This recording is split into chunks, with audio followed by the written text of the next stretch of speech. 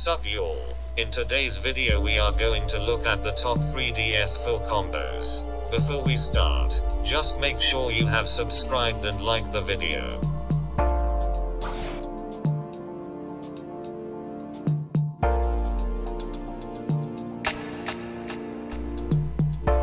At the top, we have Rumble. Rumble is best used for stun.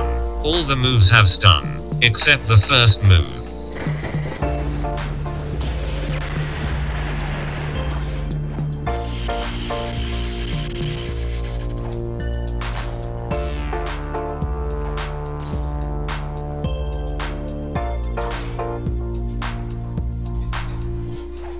Electro is one of the best melee to use with Rumble full combos. If you max the mastery of both Electro and Yoru, you would have one hit combo.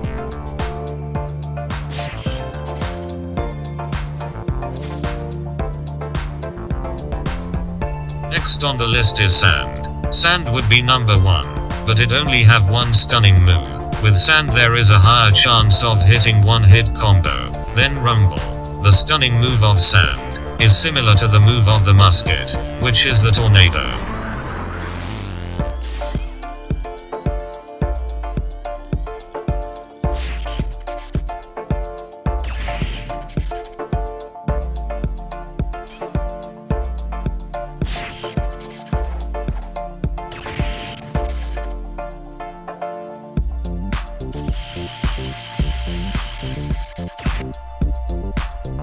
The last one on the list is Ice. Ice also have a lot of stun, but you are also stunned for the most part, so, it's likely they will be able to counterattack.